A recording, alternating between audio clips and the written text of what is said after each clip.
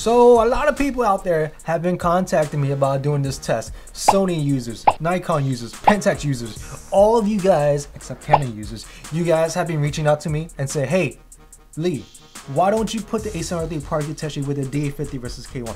Why not? Put that camera part of the challenge because I want to see that Sony sensor. I want to see what Nikon is missing. I want to see what Pentax is using under their hood.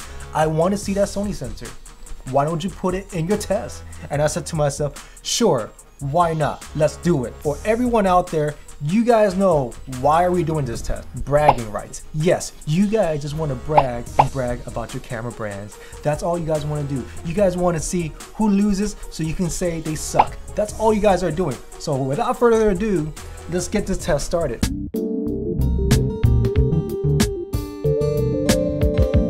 So a few things to know about this test. I took the A7R3 back to this real estate property and then thankfully I was able to take the same shot again, the same composition now, but a few things did shifted now. The centerpiece where the balls are located at shifted just a bit. The couch moved it just a little bit, but overall everything's still the same. The picture frame is still there, the table is still there, it's all in the same spot, the lighting is still the same. We are shooting at nighttime, 8 o'clock, so there's no sun out there. Curtain is still closed, so that's what I wanted you guys to know. And also, for color accuracy, the actual color of the wall is dark olive, okay? It is dark olive. I just want you guys to know that is dark olive on the wall. The picture frame is black. It's pitch black, okay? The ink, the art is black. The lenses, Rokinon 14 millimeter lenses. Once you put a 14 millimeter on a Pentax, it only registers 15 millimeter because that's the only option you can select. With the Sony, Rokinon was, I don't know what happened, they just, basically is an adapter. Basically they put an adapter on the Rokinon and it fits on the Sony. The problem is you're not able to see the aperture at all. So just keep in mind, not able to see the aperture.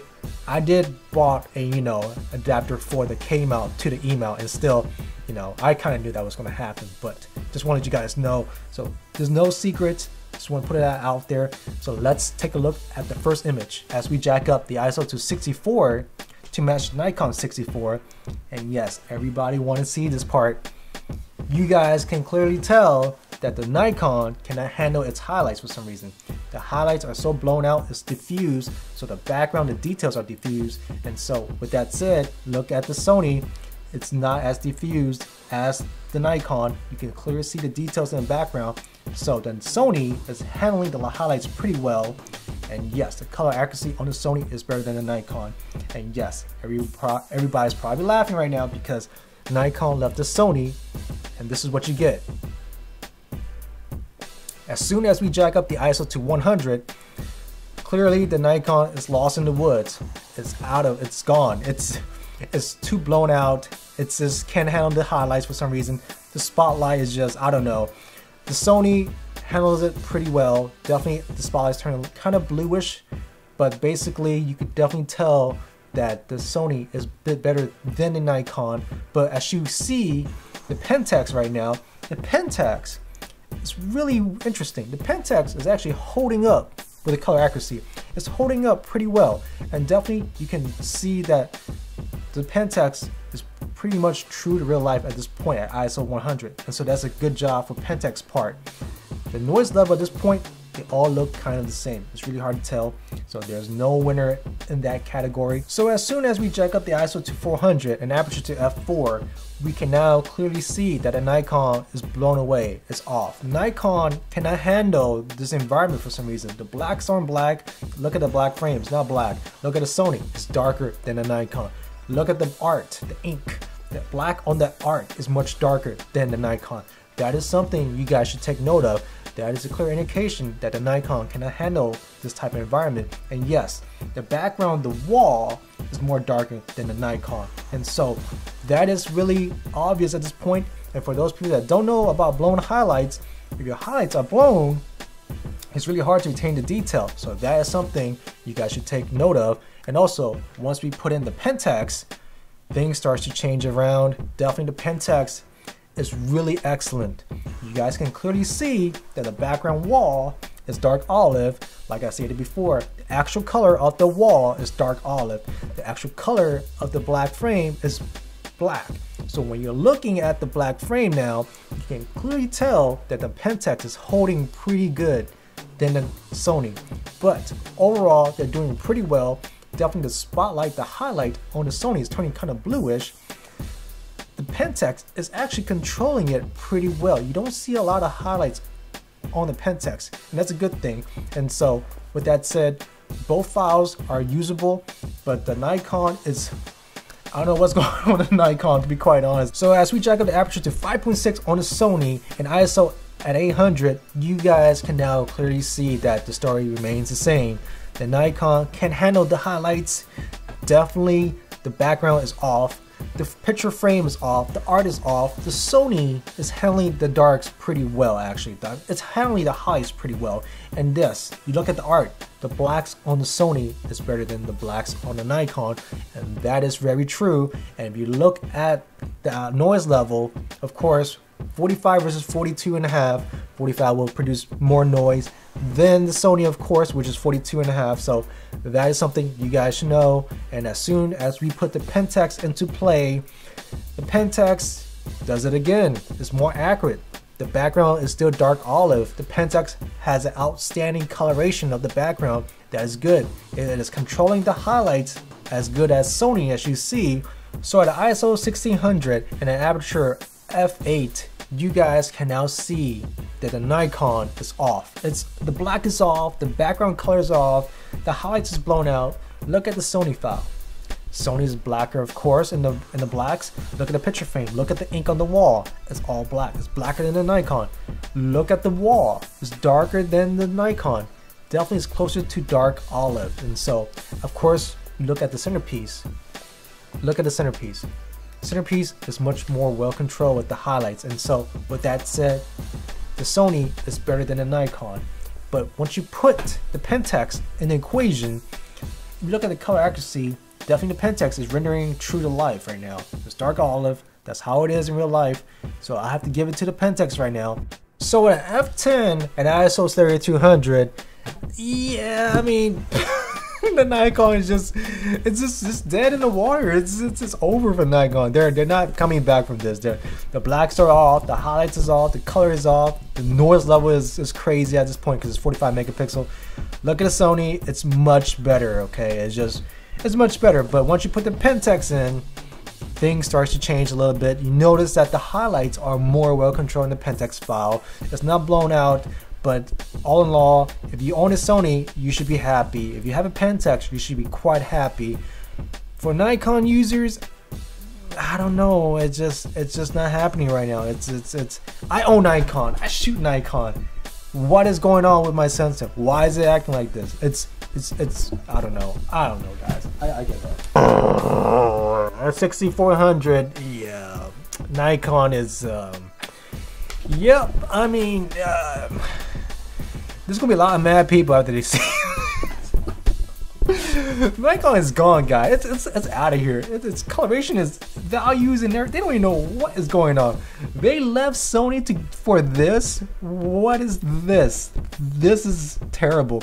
When was the last time Leica made a good sensor? When the last time someone talked about, oh, Leica sensors are excellent? No, none. So why in the world people in Nikon world was so excited when they have a sensor that's made by the same people made the same sensor for Leica? Um, I don't know what's going on. Look at what's going on. This is a disaster. Disaster. Please make a stop. I'm going to change Pentax. Once you put Pentax in against the Sony, you're neck to neck. The Pentax, same deal, a bit more accurate than the Sony, but overall, I would give it both of them, you know, high regards. It's pretty good. Definitely the Pentax. It's a bit more cleaner at 36 megapixel in, the noise section, of course. And of course, the wall background is slightly darker. It's it's it's a hair at this point. It's not bad. The highlights are not blown like the Nikon, so it's neck to neck with the Sony and the, and the Pentax right now. It's basically I, can lie to you guys. It's it's how it is. Do I have to sell you to? So at twelve thousand eight hundred. you know the deal. Same thing. Everything looks terrible right now, but who has the darkest black between Sony and Nikon at this point? The Sony, of course. Once you put in the Pentax, who is better? I guess the Pentax is better by a hair, just the hair. At this point, it doesn't matter because no one shoots at 12,800. So at this point, you guys are pulling hairs. But overall, the Nikon D850 sensor did not hold up to this test. And I apologize to all the Nikon users out there. I shoot Nikon, you guys know I do, but I'm not happy with a D850. That's why I returned it. So next thing we're gonna do is downsample these files. We're gonna downsample the Nikon, we're gonna downsample the Sony to fit on a 36 megapixel file. Then we're going to ruin our Pentax file. We're going to ruin our Sony file by jacking up the exposure to fit the Nikon because Nikon can handle its highlights. So here we go. As you can see, the shadows on the Nikon after being downsampled, you can clearly tell that the shadow patterns on the Nikon looks pretty bad. It looks kind of ugly actually once you downsample these Nikon files at 36 megapixel. It's pretty awful. If you look at a Sony, it's a little better than the Nikon, but overall, the Pentax looks a bit more nicer. And so, with that said, there you have it. That's your downsampling. So for the high dynamic range portion of this test, I'm going to underexpose my shot, push the exposure in Lightroom, and we will see which files are retaining the most information. As we take a look at the Nikon D850, we will notice that the Nikon is still not up to par at this point. It is long gone. The shadows are off. I mean, this is ISO 100. Look how look how noisy the shadows look, right? Look at the coloration. It's it's off. It's it's not it's not even usable. It's terrible, right? Compared to the Sony, the exact same environment. You could definitely look at the Sony. It looks much better, right? Much a bit more cleaner. Definitely the coloration is there, the accuracy is there. It looks like a more usable file once you put the Pentax in, you will notice how cleaner the Pentax look. The shadows are nicer. The color accuracy is nicer. Pentax is known for their dynamic range. They have the best dynamic range, and everyone's thinking, you know, what happened to the BSI? You know, I don't know what happened. I mean, Nikon had this BSI thing going on, and I'm just like, you guys supposed to be winning this, right? There is nothing to be seen from BSI. I don't know what's going on the K1 is just a CMOS sensor. The Sony a7R III is a BSI sensor. The new D850 is a BSI sensor. So I I thought the BSI was to, you know, give you more high dynamic range performance, better shadow detail, better ISO performance. I don't know what's going on. It's it's so what does this test all mean at the end of the day, right? What does this test really prove, right? It just shows you that the Sony sensor and the Pentax they're all just having a better recoverable file. Those files are really usable. You could definitely push out a lot of the highlights out. And so you look at Nikon, the highlights are kind of blown out already. And maybe it's due to the fact that there's fluorescent light or something up there. I don't know. The Nikon seems like it cannot handle that type of environment. And so with that said, I don't expect people to start switching system or anything. Personally, I own the Nikon, and it's really sad for me to say these things about the Nikon because I've been, you know, I have a tons of lenses for the system. For the Sony, I don't like Sony at all. I actually despise Sony. I really hate Sony, but their files were really good actually, and I was really impressed. And um, I'm just, I feel gross saying that. I, I feel really gross saying that actually. The Sony was really nice in this test. The Pentax was really outstanding, of course. It, you know, color color was there, ISO was there. I mean, the the highlights wasn't blown out. As you saw, it was it was a great great test for Pentax, and that shows everyone that Pentax is a system to definitely check out if you guys are interested. Definitely check out the Pentax. It's really worth it. I own the Pentax K1. I also own a bunch of Nikons. I used to own Sony, but I got rid of them about three years ago when they started overheating. I don't want to mess with that anymore but they do have good files from this test. So with that said, if you guys are going the Sony route, that's fine. I mean, their the files are great. With the Nikon, I mean, you know, I got three words, right? D800, D800E, D810. I mean, I lost so much money in that time period, and so we all kind of like, you know, nitpicking on what happens next with Nikon, right? So at this point, I'm not impressed with their sensor. They could have all the frames per second, autofocus points, you know, mediocre 4K. If you're not, your pictures are making me edit a bit more than the other competitors. I don't want it, you know. It's just, this is why I returned a D850. It wasn't for me. I really enjoy shooting on the Pentax K1.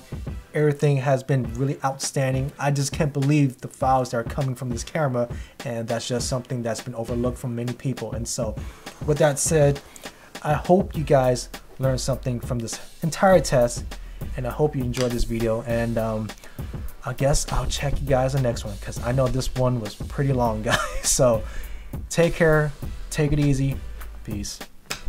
So I know I'm gonna get a lot of hate, and that's okay. I I, I expect it. I I've been expecting it, you know, even before I made this video. But there's one thing that drives me nuts. When people send me that one link that leads me to a test chart with all the camera brands you can think of. And what people don't realize that there's a button at the bottom right corner that they show a lens and the shutter speed and all the settings that they use and the lens that's on the K1 is an old film lens. It's pretty old now, right? It's like 1999 or something, right? So when you guys are looking at K1, just remember that's not the latest lens, okay? They are using an old lens in that test chart. So please stop sending me that link. It's driving me crazy. And for everyone else, please do not send me a link with a JPEG comparison. That is ridiculous. I will not waste my time on no JPEG comparison, okay? Please don't do it. Please. Stop it. Stop it.